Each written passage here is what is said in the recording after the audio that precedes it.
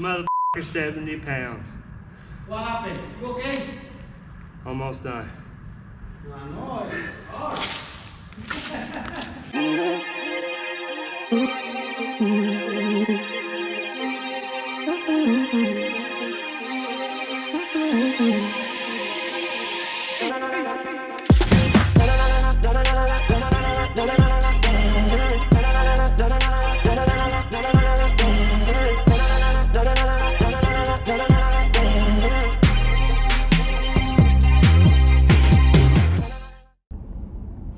My way to Hammer Mill and I just got this text from Shelby that says the plumbing's wrong.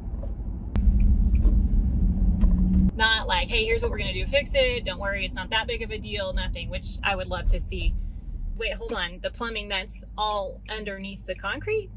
That plumbing? There couldn't be more of a thanks, I hate it kind of text out there. Hey, so what's going on? First of all, sorry about the text. A little frustrated. Didn't have a whole lot of words to say other than it's messed up.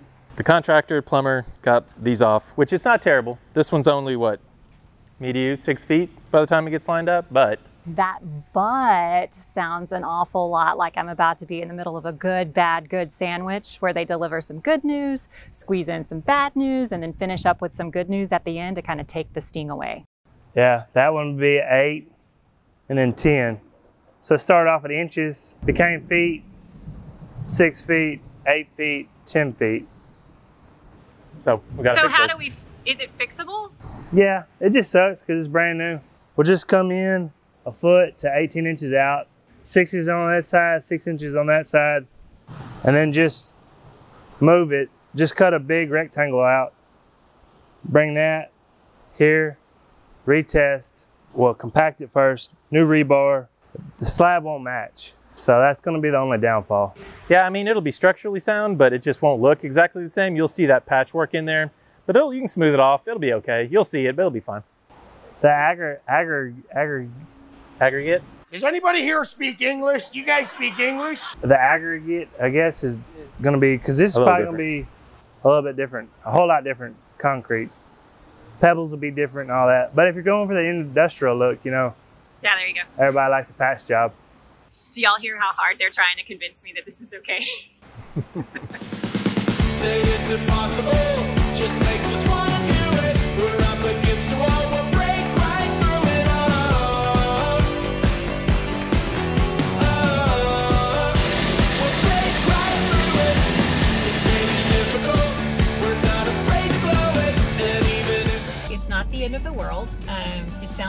like this is happens in construction. No reason to panic. A little reason to be frustrated. This probably is something that should have been caught um, prior to the concrete being poured. I hired a general contractor to oversee this project, so I have to kind of lay off of my own personal responsibility a little bit. I'm really grateful that Shelby was out there to kind of oversee the general contractor, even though that's not any of his job assignment at this point. look at us stand out now.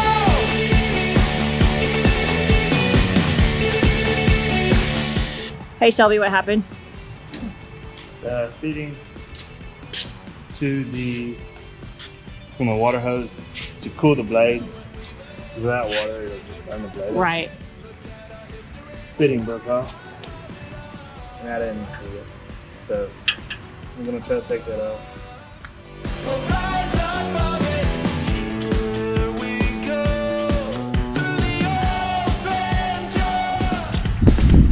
Hey! Hey.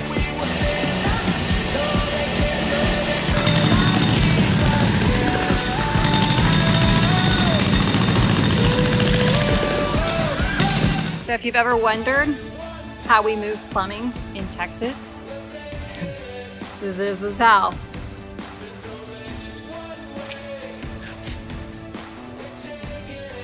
Four inch slab, cut, piled up, ready to get our plumbing. Being on this end of the contractor subcontractor relationship has been really interesting. You know, typically in my day job, I serve as a subcontractor in the steel fabrication industry, but being on this side of the contractor relationship has really shown me just how important relationship really can be in getting the job done. So this plumber, for example, who was not the original plumber that kind of got us to the position we're in today, we've since parted ways with him.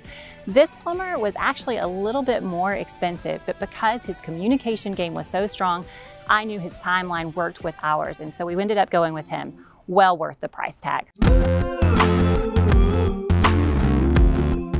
Okay, we're back at Hammer Mill, and we've got the concrete cuts taken care of.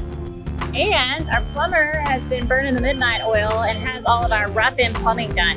And so the next step, local municipality is gonna come in and give us hopefully a green tag. And what that means is that we're good to go and we can then cover this up with concrete. So making progress. I mean, I guess sometimes you just gotta load it by hand, huh? When you buy seven dollar shovels, and overload them.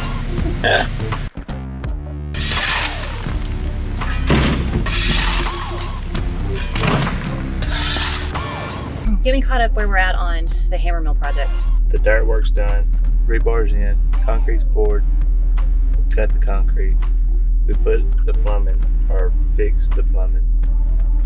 Now we just got the green tag. So they're gonna come back in after this green tag. They're coming in to pour the concrete back on top where the everything was cut out. And then we should be back to like square one, where we were supposed to be to start with. Yeah, we're where we're at now, where we should have been two months ago. Excellent.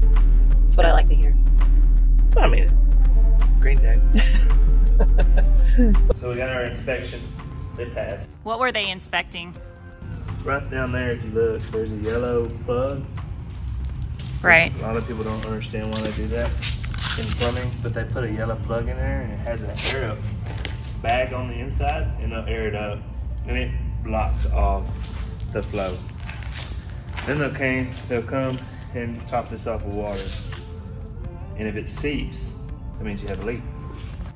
So they came, inspectors from the city came yesterday and green tagged it, meaning that there was no leak. And that's the city that did that, not the plumber, correct? No, that's the, that's the plumber. Oh, the plumber did the duct tape? Mm-hmm. Okay. And what was he trying to do? He's just making sure that the, I guess the poop goes downhill. That's that's the main thing. That is the main thing. if anything there's to learn, it's to learn that poop rolls downhill. This was a tough one. I guess you could say that we're kind of climbing this um, ladder of real estate development, one very painful rung at a time. Um, not only did we have to cut up a $200,000 slab, which caused time and monetary constraints, we also had to make the very tough decision to go ahead and change the leadership for this particular project. It is wildly intimidating to think that from here on out, it's just me, Devin, and Shelby calling the shots on this job. Stay tuned for the next episode to see how we handle it. Hey, you. Yeah, you. I need you to like and subscribe to this page so the YouTube algorithm can get this out to the people that need to see it. Listen, I'm an ENTJ in Myers-Briggs, a three on the Enneagram, and my love language is words of affirmation. So you've never met anyone more desperate for you to like and subscribe than me.